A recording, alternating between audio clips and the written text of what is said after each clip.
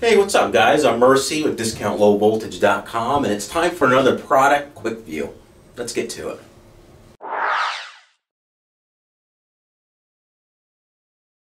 Okay, so today we're going to put together the industrial connector by Signamax.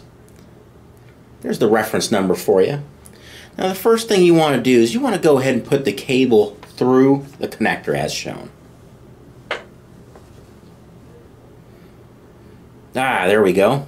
The other thing I do want to mention, if you're using an industrial connector, you're probably going to want to use an industrial type of cable. We do have these available online. They're sold uh, per thousand. And you might want to check out our YouTube video for more information as far as what's under the jacket, what else is available, and, uh, you know, just to get a better feel. That's what you want to use in environments like that for oils and all kinds of other stuff. So, uh, plain Cat 5 cable probably won't last a long time for your type of application if you're using this type of industrial connector. So, something to think about. Now let's go ahead and strip the jacket off. Once that's done, you want to go ahead and just line up your uh, conductors as far as which color code you're going to use, and I decided to use 568B.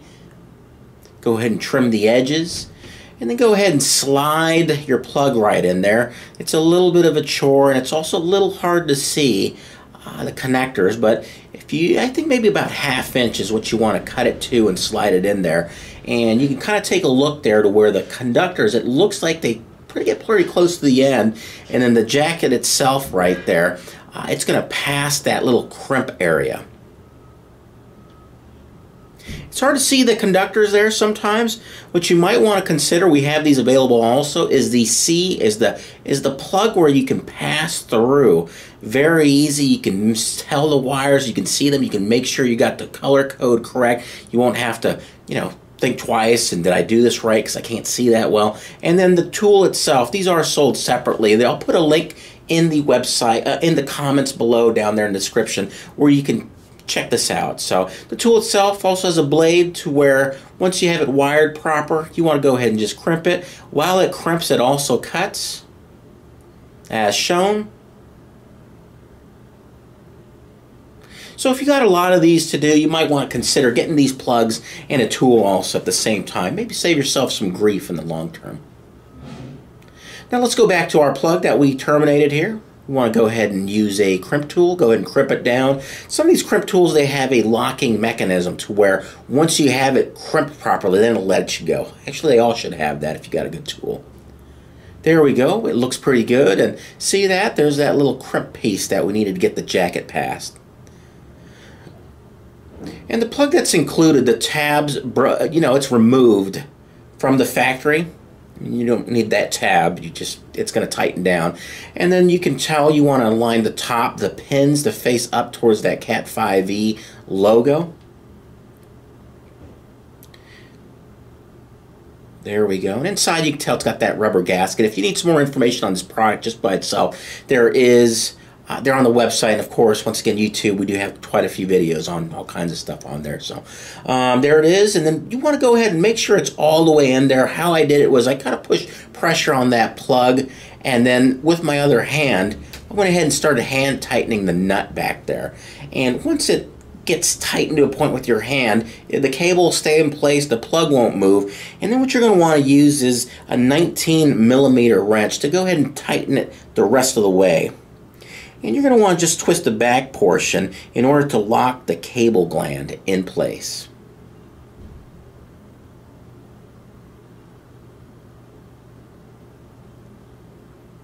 And there it is. Pretty straightforward. Here's a good look at the connector itself where it's supposed to be in place.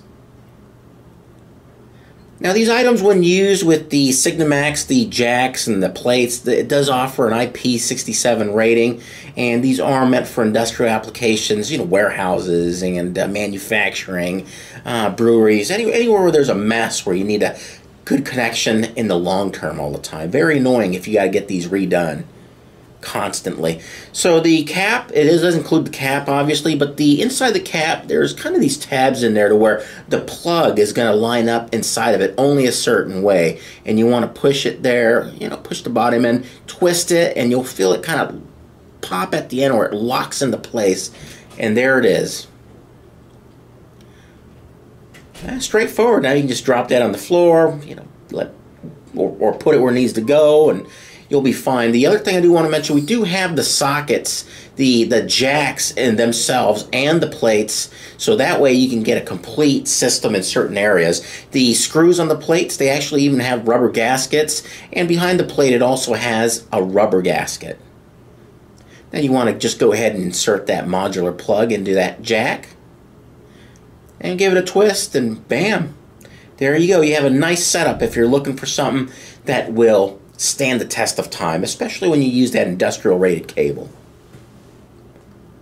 And we have these available in uh, the Surface boxes also, and Cat 6, shielded also. But more information and order, visit discountlowvoltage.com.